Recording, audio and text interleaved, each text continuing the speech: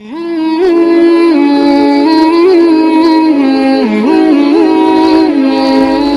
Abdul, si Muttalib itu wah orang hebat. Jadi yang memimpin negeri Mekah itu dulu si Abdul Muttalib Ketika menghadapi Raja Abrahah yang akan merobohkan Ka'bah, ya si Mbah Abdul Muttalib diberitahu saya ingin ketemu dengan Raja Abraha. Nah itu ya. Raja Abraha itu kan membuat gereja di Yaman.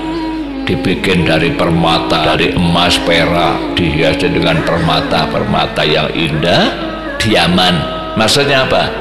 Dia iri melihat orang di dunia itu kok pergi ke Mekah ke Ka'bah kok tidak ke Yaman aja itu ya.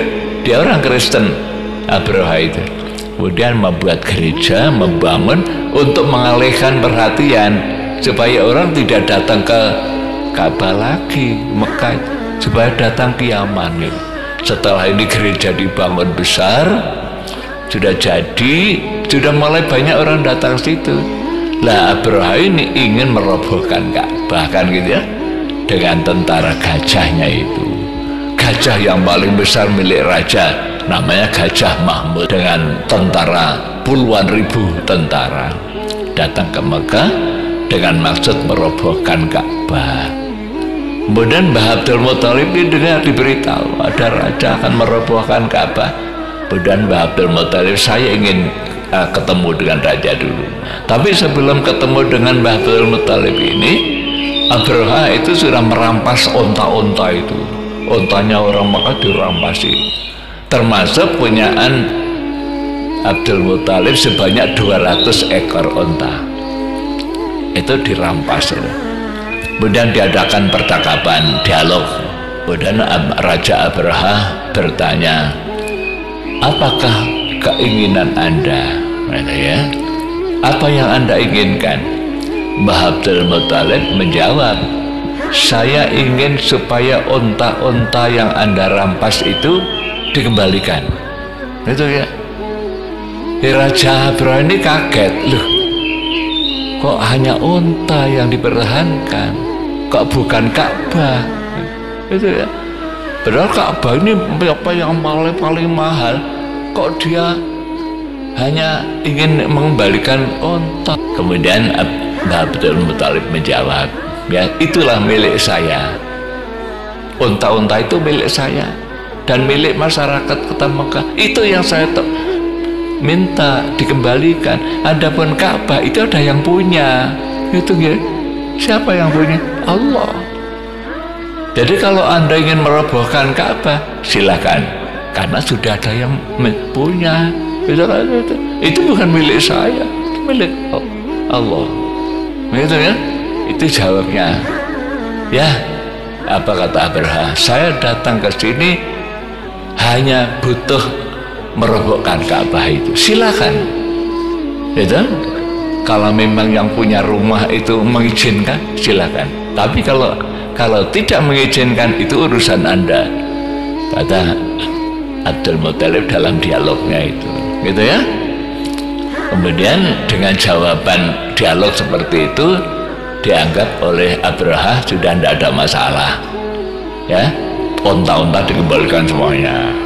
Dikembalikan dia masuklah dengan tentaranya itu. Dan termasuk Gajah Mahmud yang terbesar itu. Ya masuk ke kota Mekah dengan puluhan ribu tentara Abraha itu dengan maksud menuju ke Ka'bah untuk merobohkan. Dan Abdul Muthalib ini berdiri di pinggir Ka'bah. Pidato sebagai wali kota. Ya ahlal Mekah wahai penduduk Mekah akan datang kepada kita seorang raja dengan tentaranya. Oleh karena itu saya persilakan anda nyingkir pergi dari kota supaya naik ke gunung-gunung. Sebab namanya tentara itu kan kalau sudah masuk mereka ngawur. Nanti anda akan dibunuh semua pergi naik ke atas gunung dan Abdul Muttalib berdoa mohon pada Allah SWT ini adalah rumahmu ya Allah. Selamatkanlah. Ya kami serahkan kepadamu ya Allah. Itu doanya Nabi. Doanya Abdul kemudian seluruh penduduk Mekah keluar gitu. ya keluar dari rumahnya men, e, naik ke gunung-gunung yang mengelilingi kota Mekah. Kota Mekah itu kan seperti koboan itu di singgahnya itu gunung-gunung gunung mereka naik ke atas gunung itu. Setelah naik ke atas gunung ya kemudian Mbah Abdul Muthalib juga ikut naik ke atas. Ada seorang penduduk Mekah yang mendatangi gajah yang terbesar tadi itu. Dibisi telinganya. Hei gajah Mahmud tahukah kamu bahwa Mekah ini adalah bumi haram ya, bumi yang mulia. Kalau kamu ingin selamat kembalilah kamu ke negerimu. Itu ya dibisi telinganya. Kemudian orang itu salah bisi apa uh, gajah tadi. Kemudian ikut uh, nyingkir ke atas gunung. Gitu ya. Kemudian apa yang terjadi? Gajah ini langsung mendekam duduk gitu, gajah ini. Tidak mau berdiri. Tapi kalau mau berdiri dia menghadap ke negerinya ke negeri gitu. Kalau dihadapkan ke Ka'bah anu tidur lagi. Gitu. Jadi kalau berdiri kembali lagi ke sana. Itulah.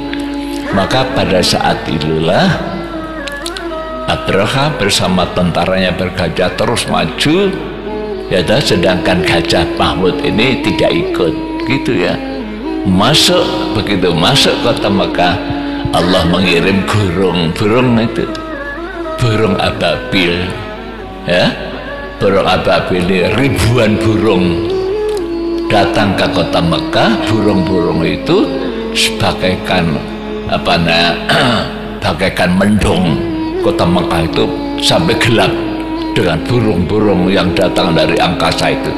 Alam taro kaifa fa'ala rabbuka bi ashabil bil. Itu itu ceritanya begitu. Ya alam taro kaifa fa'ala rabbuka bi ashabil fil alam yaj'al kaidahum fi tadlil. Tarmihim. Ya eh, tayran ababil tarmihim. Datang kepada Mekah itu yaitu tayran ababil burung ababil. Menurut para ahli tafsir burung ababil itu burung yang aneh seperti gajah. Jadi ada belalainya burung. Warnanya hijau dan burung ini burung angkasa. Tidak pernah turun ke bumi dan tidak pernah naik ke langit. Itu ya. Hanya turun waktu itu saja diperintah oleh Allah dikirim. Ya itulah apa yang dilakukan oleh Allah. Alam taro kaifa ala rabbuka? Ya tuh biasa bil bil itu kemudian burung-burung tadi itu setiap burung itu membawa tiga batu.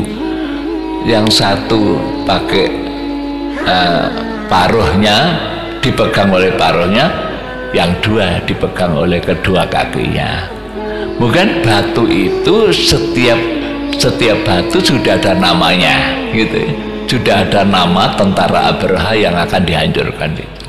Kemudian burung-burung itu datang. Itu pernah difilmkan itu. Ada di film ya? Menjatuhkan batu itu setiap batu itu turun yang jatuh kepada kepala orang yang namanya sudah ada. Iya kan batu yang ada di paruhnya batu yang ada dua sudah ada namanya batu itu ya. Sampai kepada gajah-gajah tembus. Jadi batu itu uh, turun jatuh ke kepala langsung tembus ke dubur. Orang itu. Uh saudara subhanallah. Mereka lari tunggang langgang sudah tidak ada jalan. Mereka sudah tidak tahu jalan di mana jalan keluar dari kota Mekah mereka lupa. Karena belum pernah masuk kota Mekah.